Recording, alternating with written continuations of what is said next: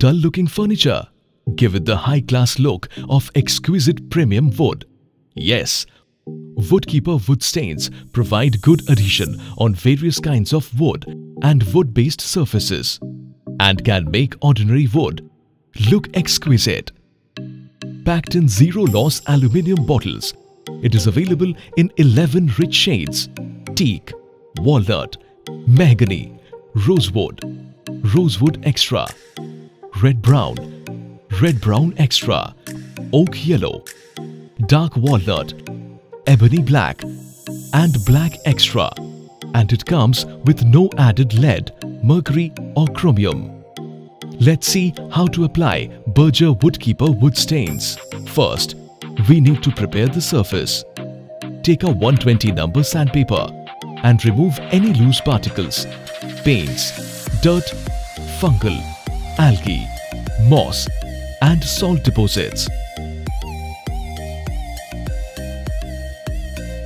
Follow it up with a 150 number sandpaper. For veneer and MDF surfaces, use 220 number sandpaper. Followed by 320 number sandpaper. We recommend you to use Berger Wood Sander which comes with variable headers and speed regulating options and is equipped with a dust collector. Now, if there are cracks, holes and dents on the surface, simply fill it with Berger Woodkeeper Philodent. Now it's time to apply Woodkeeper wood stains. Wood stain is most commonly applied by cloth.